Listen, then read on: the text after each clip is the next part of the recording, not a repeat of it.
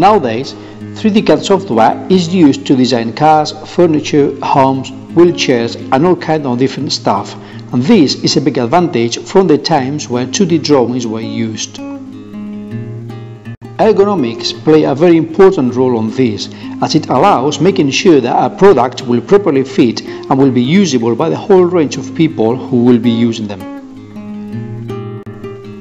However, the ergonomic studies are done by using 2D human data, which sounds a little bit odd as they are flat models.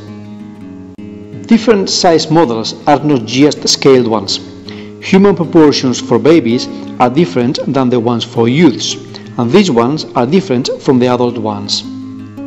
What we are proposing with our project is to model a whole range of 3D digital anthropometric models, 29 models in total, covering the whole range of percentiles, from 2 months old babies to both female and male adults, these ones as 1, 50 and 95 percentiles, and all of them at an affordable price.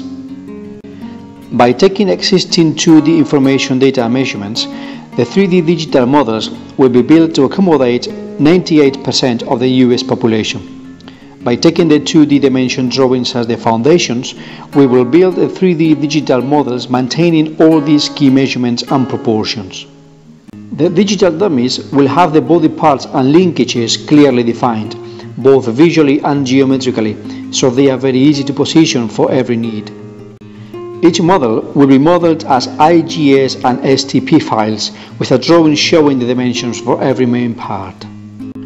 Our intention is to make the resource available to everyone designing and developing product, from students to professional users. Hi, my name is Manu and this is the AU project. Thanks for